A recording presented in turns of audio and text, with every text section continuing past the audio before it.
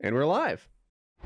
To answer the question that you're loading up with, Taylor, you, you're just going to have to watch that five minute video because every time that I uh, do watch, not this particular five minute video, but every time I watch Black Science Man or, or uh, uh, Carl Sagan or someone explain this to me, I, I, can't hang on to it. It's just like the plot of that time travel movie.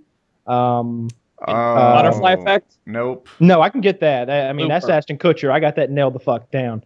Um, this is um, the time travel movie where they they build the box in uh, yeah. uh, in in the shipping uh, or in the storage um, uh, I don't know that one. and everything. It's on Netflix, but it's a real mind fuck as well. The way the not just the way the the time machine works. I can I can get that primer, but primer. I googled primer. complicated time travel movie. First result.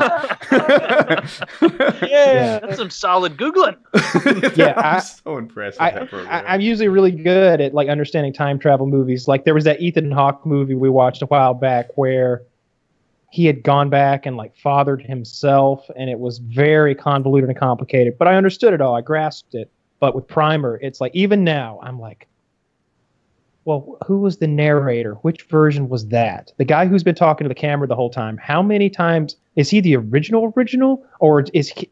You know, I, I have a hard time with the different timelines, the different existence of the main characters. I've watched that movie like four times, and uh, every so often I'll run across someone who's like, "Oh, I get it." I'm like, "Oh, thank God, explain it." Well, actually, and, and it, it, always goes down like that. I, I after I watch it, I watch the wiki, I read the Wikipedia to like explain what I just saw, and I feel like I get it like ninety percent, maybe more, but not so much that I could tell you because there's like the thirty eighth iteration or something like that, and and then I lose it. I, I couldn't explain it to someone right now. It's it's yeah. I guess it's just beyond my personal cognitive horsepower.